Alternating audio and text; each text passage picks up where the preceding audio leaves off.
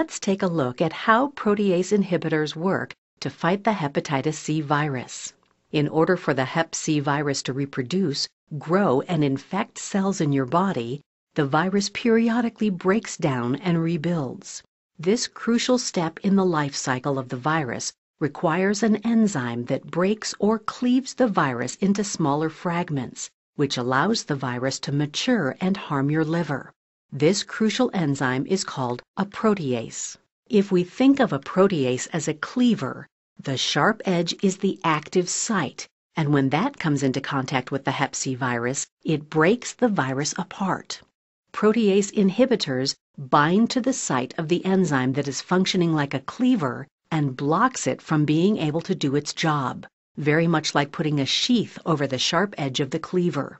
This binding by the protease inhibitor prevents new virus particles, virions, from maturing or reproducing, making them non-infectious.